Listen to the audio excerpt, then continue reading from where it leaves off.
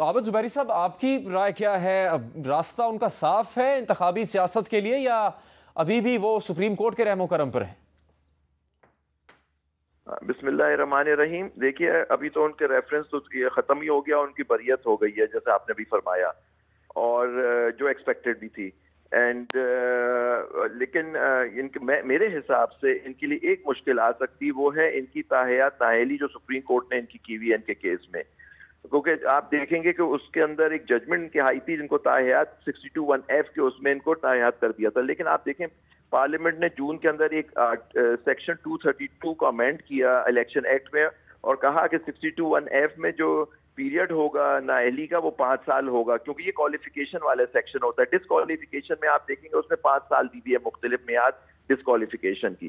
ठीक है क्वालिफिकेशन के लिए उन्होंने कहा कि जी, ये पाँच पाँच साल होगा। अब यू ये है कि तो अब आपने कल भी देखा कि चीफ जस्टिस साहब ने या उस बेंच ने एक इशू भी उठा लिया है कि ये दोनों साथ नहीं रह सकते। ये judgement of the court two thirty three जो सब सेक्शन टू है ऑफ़ द इलेक्शन एक्ट तो मोस्ट प्रॉब्ली इन, इनका ये होगा कि कोर्ट अगर उसके ऊपर कर देती है कि जी ये पार्लियामेंट का बनाया हुआ कानून ओवरराइड करेगा सुप्रीम कोर्ट की जजमेंट को तो उनके रास्ते में ये रुकावट भी खत्म हो जाएगी।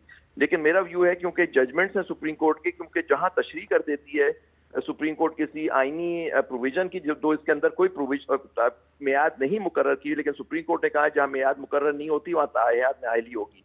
तो मेरा व्यू ये है कि उसके अंदर कॉन्स्टिट्यूशन अमेंडमेंट जाएगी, पर नेचुरली अब ये सुप्रीम कोर्ट डिसाइड कर देगी, वो कहेगी कि जिन्हें इस व्यू ऑफ़ दिस लॉ ये जजमेंट जो है, ये अब नहीं फ़ील्ड में होगी तो फिर उनकी वो भी डिस्कालिफिकेशन क्वालिफिकेशन का वो इशू भी खत्म हो जाएगा, उनके रास्ते में कोई रुकावट हायल नहीं होगी इलेक्शन लड़ने से। तो नहीं मौजूदा साहब, अब तहरीक इंसाफ के भी सबक चेयरमैन के बड़े केसेस हैं, लोग मवाजना भी कर रहे होते हैं, लेकिन अक्सरियती जो राय है माहिर कानून की उनकी ये है कि नवाज़ शरीफ साहब के ख़िलाफ़ केसेस बेबुनियाद थे। आ, उनको एक ख़ास मकसद के तहत सजाएँ दी गई एक साजिश थी उसके नतीजे में हुआ। तो ये आ, उस नज़रिए से माने और फिर तहरीक इंसाफ के केसेस पे भी जब आपकी तरफ़ से आता है कि ऐसे केसेस बनाए जा रहे हैं जिसमें केसेस बनने नहीं चाहिए तो ये अच्छी बात नहीं फिर अदालतों से रिलीफ मिल रहा है।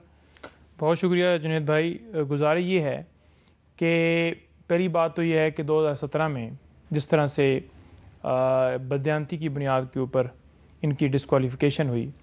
ये हमेशा वो ताना देते हैं ना कि इमरान खान साहब अंदर हैं और नवाज़ शरीफ साहब के साथ ये हुआ, उसके साथ ये हुआ तो उस वक्त इमरान खान की हुकूमत नहीं थी। आपने हमेशा जो है अपना रिकॉर्ड देना होता है कि मेरे ये एसेट्स हैं, मैंने कैसे बनाया है, कहाँ से ये माल आया है। तो जब आपसे सवाल पूछा जाएगा और आप अगर भागेंगे और ये कहेंगे कि अब इदारा ही साबित करे, आज भी हमने यही देखा। कि मुकम्मल तौर पर उन्हें आगे से असिस्टेंस दी जा रही थी कि कोई इशू नहीं है, बिल्कुल बरी कर दिया जाए, कोई एतराज़ नहीं है। ये बात कर रहे हैं कि हम बरी हो गए हैं जी। अल्लाह ताला ने हमें बरी किया। एन आर ओ जो है ना, उसने आपको बरी किया आपके जो केसेस आपके ऊपर बनाए गए थे, वो बिल्कुल जैनवन थे। आपने अभी भी रसीदें नहीं दी और ये एक्सपेक्टेशन पूरी कौम को थी कि इसी तरह से आपको रिलीफ इन तमाम मुकदमात में मिलेगा। जब आप लंदन से रवाना हुए, आपके आने तक प्रोटेक्टिव बेल से लेकर हाई कोर्ट का अमला एयरपोर्ट के ऊपर पहुँचा, उससे लेकर या सी सी पी ओ सलूट जैसे या जल से जलूस जैसे कर रहे हैं। ये तमाम अगर सारी चीज़ें देखें तो सारे लोग ये एक्सपेक्ट कर रहे थे कि ये इनको ऐसे ही होगा। सात मिनट के अंदर आज फैसले महफूज नहीं किए गए, जैसे इमरान खान साहब के केसेस के अंदर फैसले महफूज कर लिए जाते हैं। जैसे उनकी दरख्वास्त जाती है, उसे फिक्स नहीं किया जाता। जैसे उसमें नैब जान बूझ कर आकर कहता है, जी नहीं नहीं, इस, इनकी तो ज़मानत बिल्कुल जो है वो खारिज होनी चाहिए। और वो पूरा प्रोसिक्यूट करता है। आपने आज भी देखा नैब वाला केस वहाँ पर लगा हुआ था जेल के अंदर, जिस तरह से वो समाज चल रही है कि रात को अदालत खुलवा के कहा जाता है कि कल के लिए समात फ़िक्स की जाए, परसों के लिए फ़िक्स की जाए। आज हमने साइफ़र केस के अंदर भी हम पेश हुए हैं और वो भी इसी तरह से चलाया जा रहा है। तो पूरी जो स्टेट है ना वज़ी अजम साहब का बयान भी बड़ा सामने वाज आप रखें कि वो कह रहे थे कि नौ मई के अंदर जो चंद लोग हैं इन्वॉल्व उनको तो मेरा ख्याल में हमें नहीं लगता कि उन्हें लड़ने की कोई इजाज़त होगी तो तहरीक इंसाफ का ये तो बात ही है कि अदालतों से उन्हें सज़ा हुई है तो अब अदालतों से ही उन्हें रिलीफ मिल रहा है तो वो तहरीक इंसाफ नहीं मानेगी? देखें बात यह है कि अदालतें इदारे सारे इस वक्त जो हैं वो इनके ऊपर आए हुए हैं। हैंड के ऊपर आए हुए हैं। जैसे ये इनका दिल है ना, वो घुमा रहे हैं। और जैसे दिल है, उससे प्रोटोकॉल ले रहे हैं रेड कारपेट बिछाई जा रही हैं। तो ये एक्सपेक्टेशन होगी। अब जो आगे बात है, जो आप ये सारे डिस्कस कर रहे थे एक सिक्सटी टू वन एफ़ के तहत, अब बात यह है कि सुप्रीम कोर्ट ने ताहयात नायली की हुई है।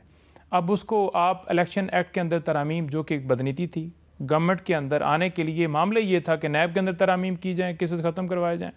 और फिर ये डिस्कवालिफिकेशन वाला मामला पेंडिंग है इलेक्शन एक्ट के अंदर तरामीम की जाए तो वो सारे आपके प्लान उसका तो आपने एग्जीक्यूट किए। अब, अब सुप्रीम कोर्ट ने किसी और केस के अंदर इनका मामला टेकअप कर लिया है कि जो सिक्सटी टू वन एफ़ के तहत नायली वाला मामला है ना जी वो डिसाइड हो जाए कि हमें लग, देखें आपके सामने फंडामेंटल राइट्स के हवाले से जो पटिशन गई हैं जो लेटर लिखे जा रहे हैं पूरी कौम जो है लेटर लिख रही है। उसके ऊपर नहीं नज़र आ रहा कि जो है कौम की बेटियाँ आपकी तरफ़ इंसाफ के लिए देख रही हैं कि इन्होंने इंसाफ फराम की जाए। एक मुकदमे से उठाया जाए खतीजा शाह को आज बलूचिस्तान लेकर चले गए। कबूल नहीं करते आप इन फैसलों को